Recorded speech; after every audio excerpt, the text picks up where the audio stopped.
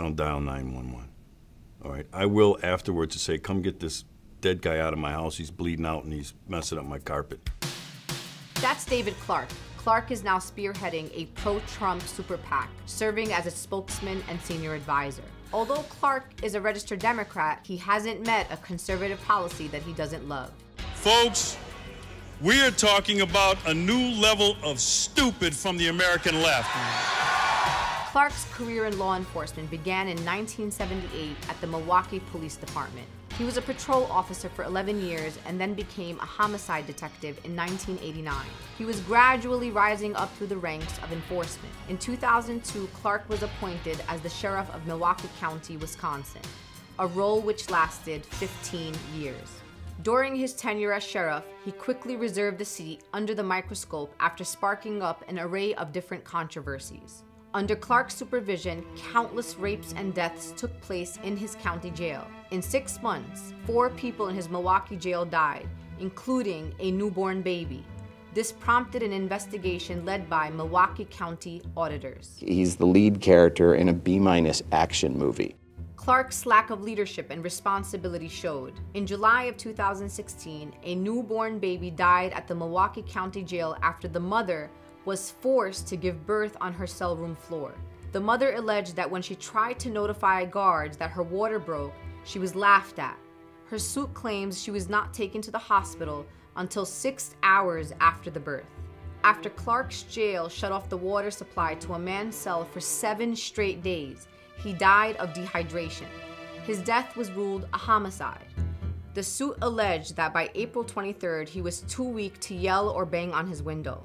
He was simply lying naked on his cell floor, barely able to move, severely dehydrated, literally dying of thirst. After hearing six days of testimony, the jury found probable cause that seven of Clarke's employees had committed a crime. Back in 2013, a pregnant 19 year old woman was raped repeatedly by a guard, and when she gave birth to her child, she was constrained by shackles. Charges were dropped as the guard pled no contest to lesser charges. But instead of acknowledging these allegations, Clarke sidestepped his way out of accountability and into the national spotlight, stumping for Trump on just about any station that would have him on. Well, I'm encouraging blacks.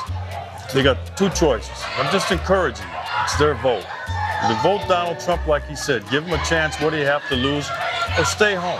Clarke's views stretch from believing Planned Parenthood should be renamed Planned Genocide to believing that There is no police brutality in America. We ended that back in the 60s. he sparred with Don Lemon over the Black Lives Matter movement, a movement that Clarke once said was forming an alliance with the Islamic State to destroy America. This anti cop sentiment from this hateful ideology called Black Lives Matter has fueled this rage against the American police officer.